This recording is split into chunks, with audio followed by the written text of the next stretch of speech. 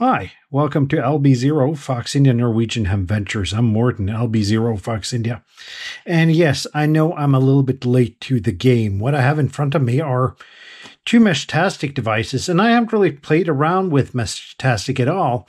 But Elecrow reached out to me a while ago and asked if I wanted to test something completely different, which was cool enough. I don't even remember what it was, but it was something cool but not relevant for the channel. So I saw they had these two uh, Meshtastic kits here, and I asked kindly if I could have those for review, and here they are. I'll leave some links down below to Elecrow, and these are not affiliate links. I do not get a cut from these. I have no idea how these devices are. I've just opened the cardboard box they came in and put them on my desk and pressed record. So let's take a look at these. We have the, oh, I need just so everything's right, we have the ThinkNode M1 and the ThinkNode M2. Both are LoRa devices, both are Meshtastic devices. The M1 has an e-paper screen and the uh, M2 has an OLED screen and is a little bit smaller. Um, what I think we're going to do today is we're going to take a quick look at these. Um, then I'm going to probably set them off, set them up off screen, and we're going to see if we can send some messages back and forth between these. As I said, I am new to Meshtastic, haven't played around, but let's start with the M1 here and uh, open it up. And the case is it's a plastic box inside this cardboard here. Looks good. Um, just the way it's supposed to be. Let's see, we get a little bit of a booklet here.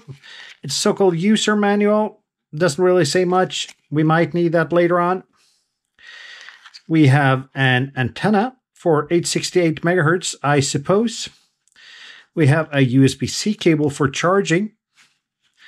And we have the M. This is the M1 device. Uh, I need to take a look at that. Um, let's take a look at it. Um, antenna port, uh, on off display brightness um, encoder here, as far as I've understood. We have a GPS on off. We have a couple of functions buttons, and that's about it. Let's remove the plastic here. And then take the antenna out, and then we'll do the same with the M2. And um, what I'm going to do when we've unboxed and taken a look at these, we're going to, I'm going to set these up off screen because I've haven't really played around with Meshtastic and doing it the first time. Um, just, I'm not the person to tell you how to do these things. So we got this with the e-paper screen. Let's take a look at the M2 and see how that looks. Put the cable here and shuffle things around my desk here. The M2, same kind of packaging. Let's open it up and see. We got a so-called user manual here as well. It says pretty much the same. Um, we have the device here. USB cable, and that's about it. So we're going to just put this off screen as well.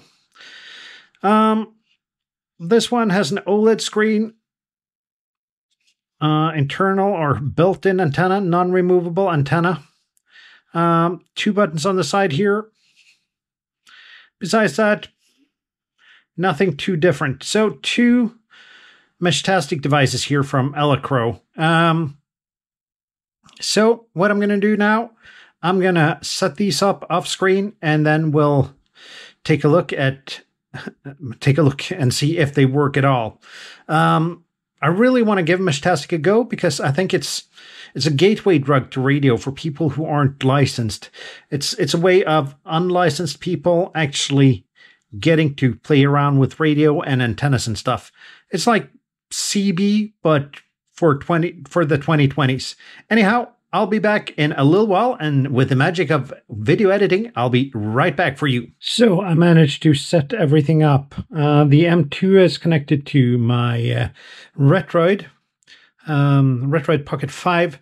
It's a portable game console that runs Android. Um, I've shown in a previous video how you can uh, do FT8 on this one and uh, prove that FT8 is a game. And the M1 is connected to my iPhone here. So let's see if we can send a message here and see what happens. I'm just going to type test. And the thingy beeps a lot.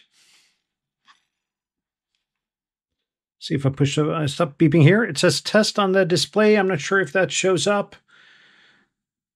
And uh, it says test in the window here. So let's go ahead and type test